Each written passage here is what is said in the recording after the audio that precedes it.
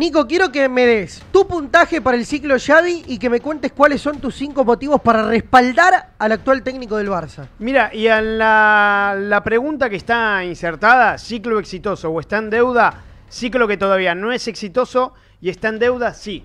¿Por qué? Porque Entonces está, está dirigiendo, está dirigiendo al club más difícil de todos.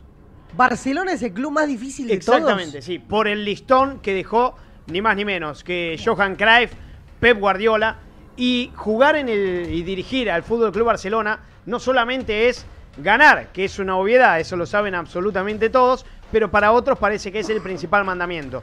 Eh, sino que en Barcelona tenés que ganar, gustar, convencer, golear y dejar legado. De hecho, se le caía mucho a Xavi Hernández porque en varias oportunidades ganaba 1 a 0, como si fuera Está un bien, pecado, pero claro, ganar. la vara de dificultad está altísima, por eso ciclo exitoso todavía no, pero va camino a está en deuda sí, sobre todo en la plana internacional, el mismo Xavi lo sabe, admite y reconoce y lo baja también a sus dirigidos porque están representando la camiseta del club más difícil del mundo.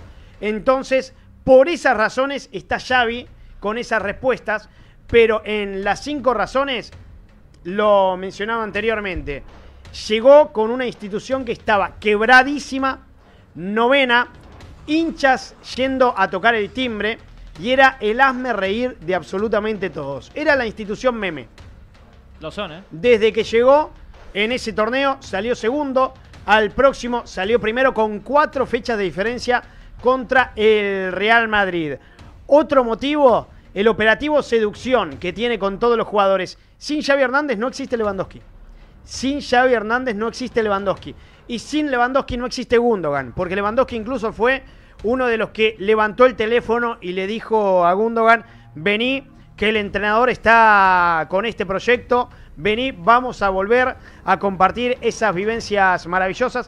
Tiene la capacidad de que varios jugadores no solamente eligen el Barcelona, porque al Barcelona ya estaban desechándolo jugadores incluso de un calibre totalmente inferior.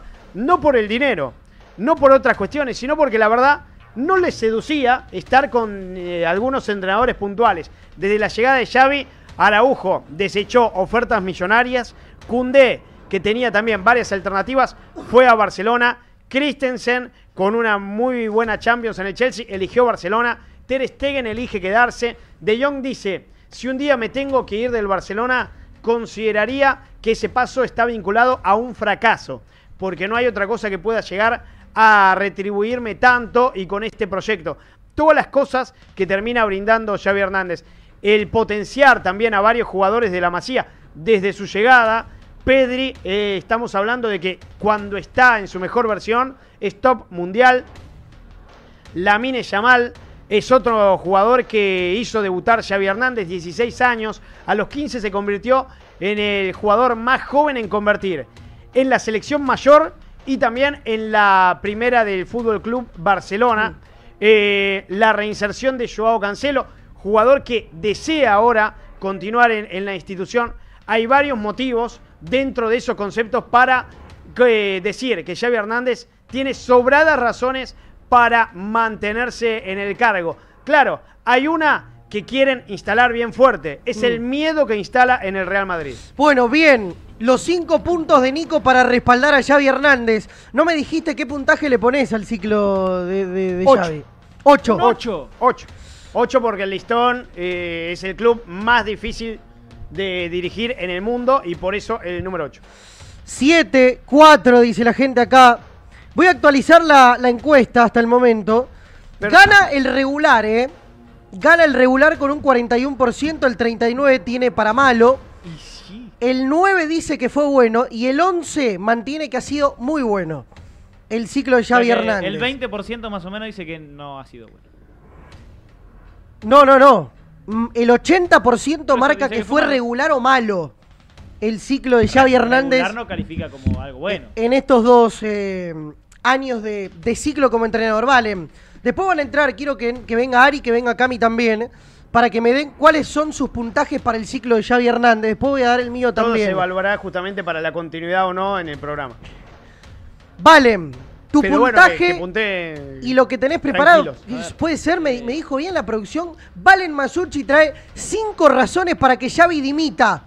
Es que. Todo el ¿cómo- daño que le está generando. ¿Cómo? mirá, cómo- No, no, ¿cómo el, daño que nos está generando? Si, si, si el último clásico, el daño que generó Bellingham, eh, ah, repercutió justamente en el vestuario. Hoy el Barcelona tiene un vestuario totalmente roto. Le jugó Declaraciones cruzadas, por ejemplo, las que dio Gundogan, tiene que salir a hablar también Xavi Hernández. Un entrenador que le preocupa cómo está el clima al día de partido. No perdimos porque llueve, no que el campo está alto, no que no está en buenas condiciones, no que la niebla. Bueno, un entrenador que pone excusas ante cada uno de, los traspiés del Barcelona, que cada vez son más frecuentes. Un equipo que no puede pasar fase de grupo. Dos veces se quedó de manera consecutiva eliminado en fase de grupo de Champions. Dos veces de manera consecutiva.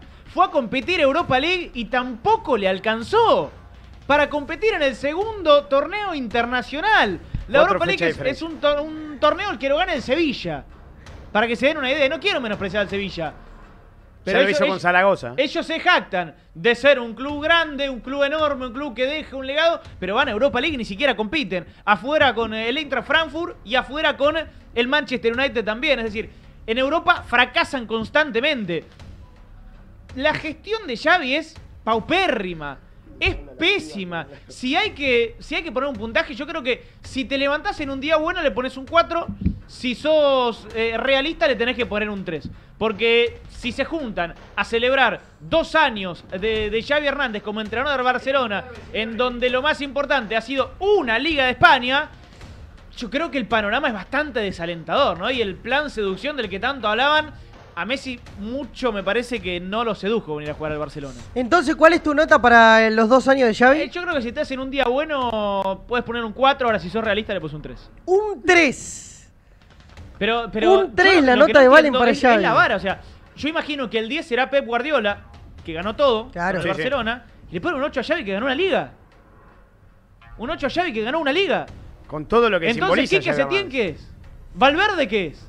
Jugaron Champions, No, no. pasaron de, de fase de grupos, ganaron Se- ligas. Setién y Valverde. Valverde ganó dos ligas. Llegó a semifinales de Champions. Sí, pero no, no convencía. Yo te comprendo que es, es difícil que lo comprendas vos como hincha del Real Madrid, en donde es ganar y nada más. Y No, pero no si el ganar es la convencía. felicidad. No dejó legado, no dejó nada. No, dejó ya- nada. Xavi mucho Pero Nico, Nico ¿no, crees que, crees. ¿no crees que a Xavi se lo juzga mucho por lo que fue, por lo que es su legado como futbolista? Y lo que, y lo que terminó simbolizando hoy, porque Xavi Hernández puso dos millones y medio de su bolsillo Está bien, Nico. para estar en el Barcelona. Xavi es, un, Xavi, Xavi eh. es un ídolo del Barcelona, nadie lo niega. Xavi adentro del terreno de juego ha dejado un legado. Xavi dentro del terreno de juego para mí está entre los cinco mejores mediocampistas en la historia de este deporte. Cada uno lo pondrá más arriba o más abajo, pero juzgándolo 100% como entrenador. Hagamos de cuenta que 100% Xavi nunca jugó sí, sí. en el Barcelona al fútbol. Sí, sí. ¿Qué? 100% como entrenador. Porque incluso eh, en, en Barcelona está muy marcado el sentido de pertenencia. Eso es lo que nos distingue de gente que todavía está buscando su pertenencia. ¿Cuál es? Se está buscando en su, en su identidad. Eh, en Barcelona está bien marcada la identidad. ¿Qué es el Barcelona? ¿Qué es ¿Qué, simboliza? ¿Qué termina representando? Y es con Xavi de- de Hernández. Es con Xavi Hernández. Con otros entrenadores. Sí, vos fíjate, me mencionaste. No, pero estuvo Valverde, estuvo Setién. Práctico, austeros. Que vayan a otras instituciones. No van a quedar en la historia. Xavi Pero- Hernández sí, le da la gran posibilidad. El equipo de Xavi está lejos de ser una máquina, ¿eh?